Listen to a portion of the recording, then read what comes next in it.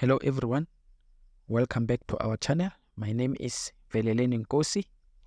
In this video, I will be working on a previous question paper. So the paper was written in June 2022. So it's for supplementary. It's from the Department of Basic Education 2022 and Life Sciences paper one.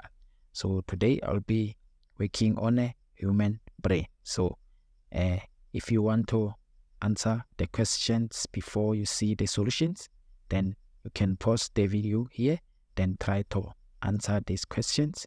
So this will help you to see how far are you with life sciences. So without wasting more time, let's get to it.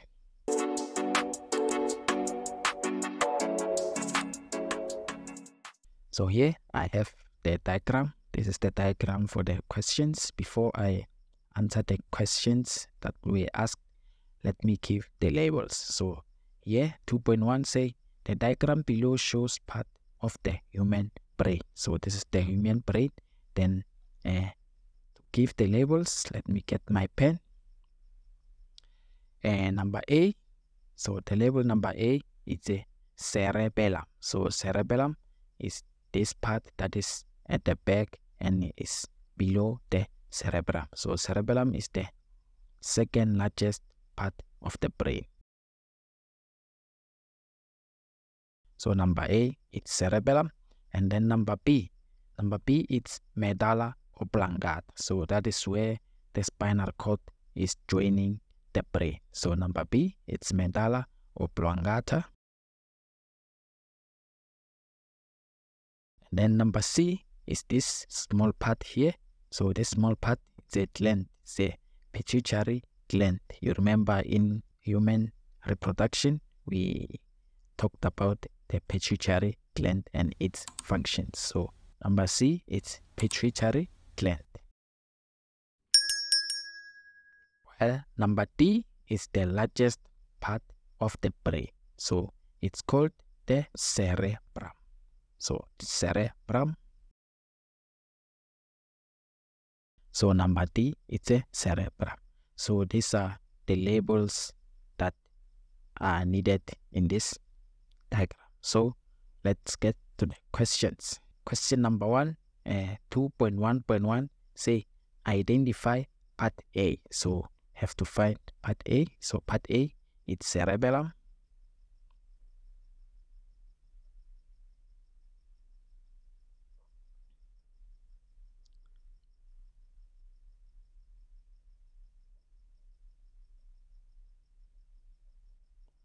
So part A, it's cerebellum.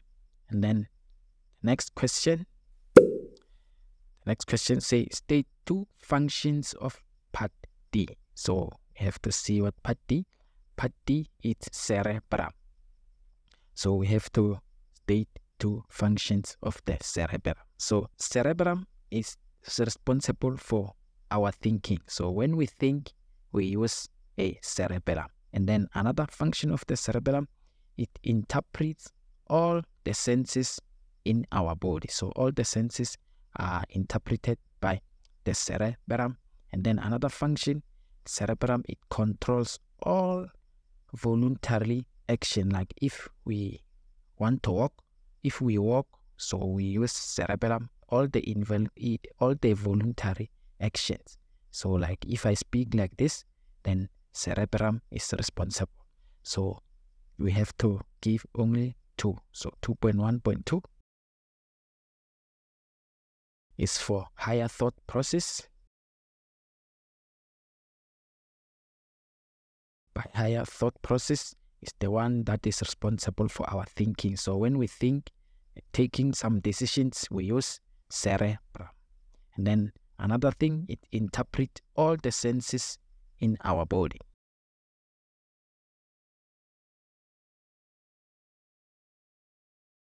So interpretations of all senses. And then another function, it controls all voluntary actions. So these are the functions. So then now let's get to the next question. The next question say name the hormone secreted by the gland C.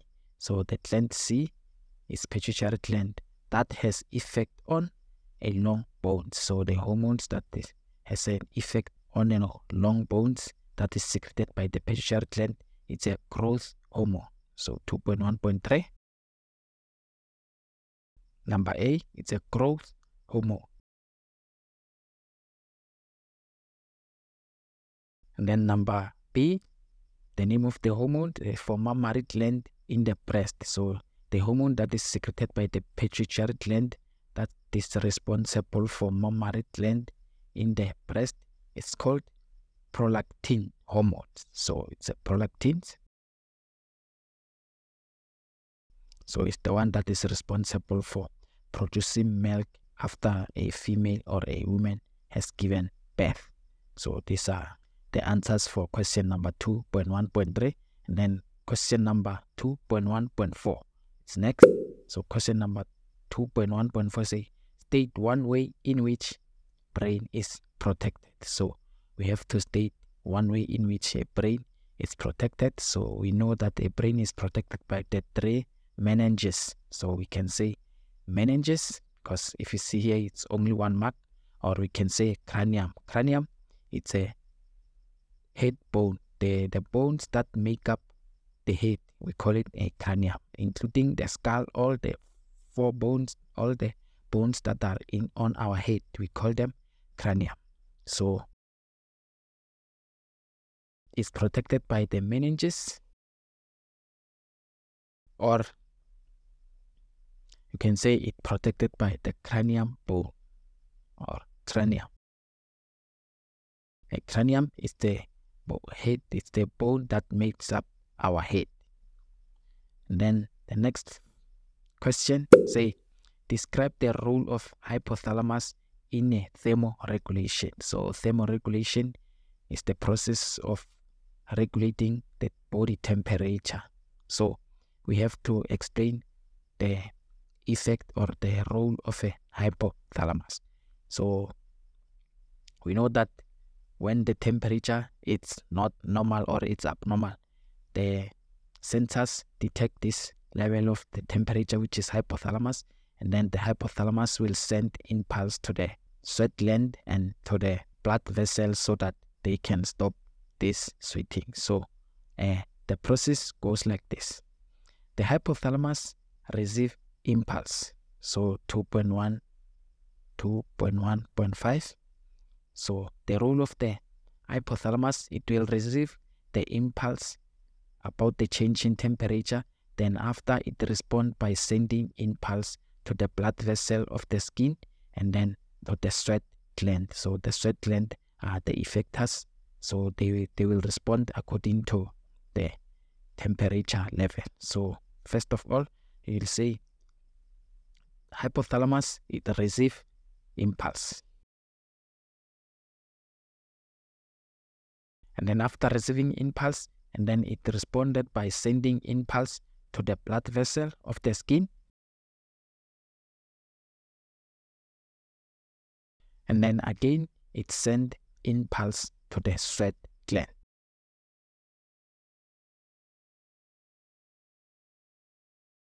So this is the role of the hypothalamus. So it received the impulse and then after, it responds by sending impulse to the blood vessel of the skin and then it also it send impulse to the sweat gland. So depending on whatever the changes that needed to be done, so that is where the blood vessels and the sweat gland they will respond according to what is needed. So this is the role of the hypothalamus. And then the next question say question number 2.1.6. Part B is involved in the homeostasis control of the carbon dioxide in the blood. So part B, it's a medulla oblongata. And then the question say, state the location of the receptors that are stimulated by the increase in carbon dioxide concentration in the blood. So if the level of carbon dioxide is increased in the blood, so we we we must give the location of the receptors. So the receptors are in the carotid artery. So the carotid artery are these blood vessels that supply our brain with oxygenated blood. So that is where we find the receptors that are responsible to, for detecting the carbon dioxide. So the receptors are called chemoreceptors. So the location is carotid artery. So carotid artery. Name two effectors that part B send impulse to. So the effectors that the, the medulla oblongata will send impulse to if we have to reduce the level of carbon dioxide it's the heart so the heart needs to pump so here it's number b here a so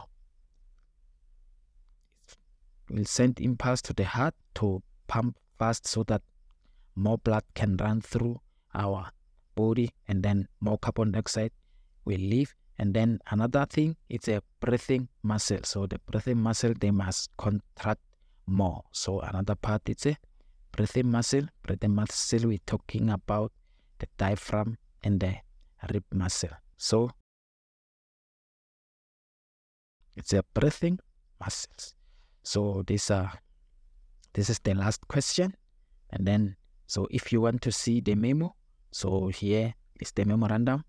Uh, here are the questions. And then the memorandum is this one. Then you can pause the video now so you can see the question and the memo. So if you have watched this video to this far please give it a thumbs up and subscribe to our channel. If you are studying good luck with your studies thank you very much for watching. God bless you